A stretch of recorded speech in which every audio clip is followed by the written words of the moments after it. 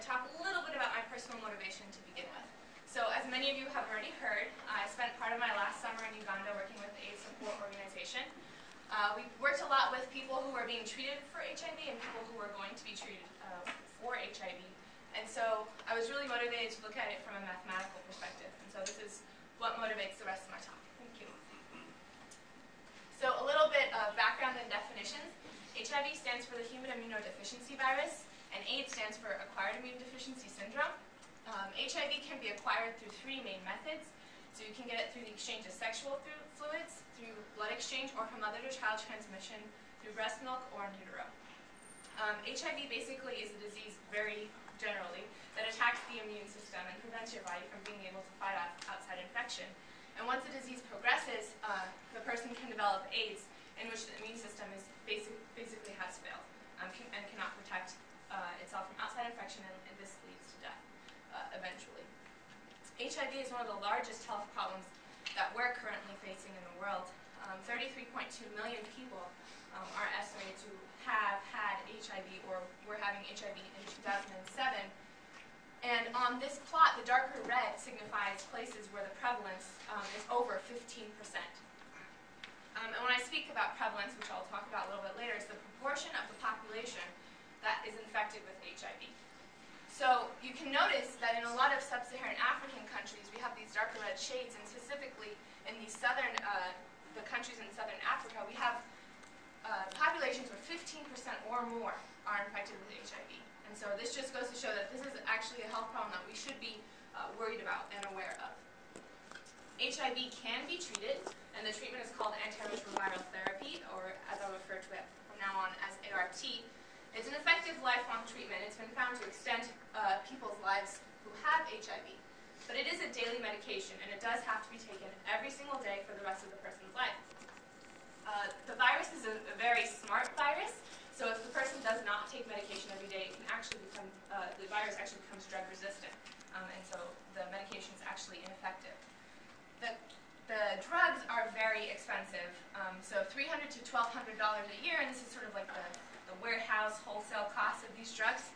So you can imagine that a lot of the people that are infected with HIV that we saw in the previous plot, uh, plot um, are living in developing countries where this is just a ridiculous amount of money to, to be paying for medication and drugs. Um, so it poses a problem of how are the people who need medication going to get medication if they can't afford it. And governments don't have enough medication to give to all the people that need it. So the World Health Organization rec recognized um, that this was an issue, and they produced this, uh, this document that recommended fair and equal strategies for ART distribution. So they were really concerned with the ethical side of treatment distribution in resource-constrained countries, so all the highlighted words are either fair or equitable or, or equal and things like that. And one of the recommendations that I'm going to focus on for the majority of the talk is identifying vulnerable and marginalized populations that might not normally receive treatment but the recommendation is to focus on these populations and try to give them more treatment. Um, so the, the, the two subpopulations I'm going to focus on are women and rural populations. Now what the World Health Organization is, do, is trying to do is a very noble, noble task. They're trying to make uh, treatment distribution fair and equitable. But uh, as a mathematician, uh, I might not necessarily be concerned with being fair and equitable. I might be more concerned with what is this doing long term? So how is the treatment distribution they're recommending going to affect HIV in the long run? So that's exactly the question that I'm asking for my thesis. Are the World Health Organization's recommendations for fair treatment allocation going to lead to effective disease control? And the way we're going to do this is develop a mathematical model uh, which we can examine preferential ART treatment with. And the two subpopulations, again, that I'm going to be looking at are women and those living in rural areas. And I'm going to look at combinations of those as well. The ultimate goal of this project, of course, is to examine the effects of the preferential treatment. And I chose a model country of Uganda specifically because I went there this past summer and had a personal interest um, in the matter. So those are the, the basic outline of the thesis and pretty much what the talk is going to go like from here on out. My accomplishments um, developed two models. One was a preliminary model, and one was an advanced model. I was able to perform a sensitivity analysis on both of those models um, basically to determine what parameter ranges were the most stable. Uh, I found and tested the basic reproductive number, which I'll talk about in a little bit, so don't fear if you don't know what that means.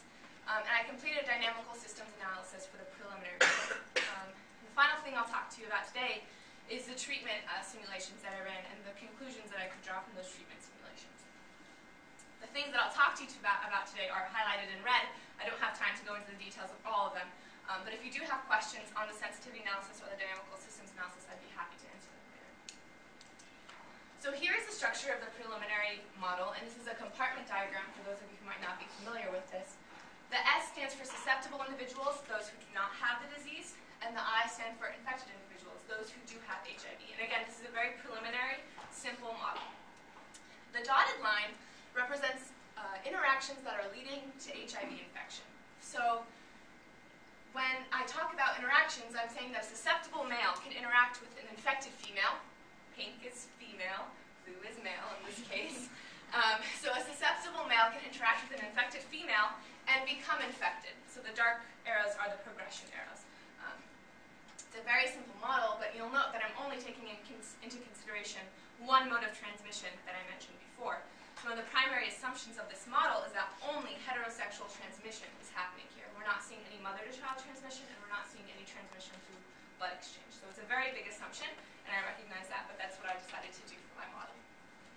So although this is pretty interesting, um, when it comes to compartment models, this is actually rather simplistic. So we're going to look at a, a, more complicated, my full model structure. So before you freak out, um, the green oval represents the first population, and the orange oval represents the second population. Now you can imagine the green population is from a very urban area like Kampala, which is the capital of Uganda, and the orange population is from a very orange, uh, rural area. so again, we have females and males, but our interactions are now coupled. So a female in the first population can be infected by a male in the first population or by a male in the second population.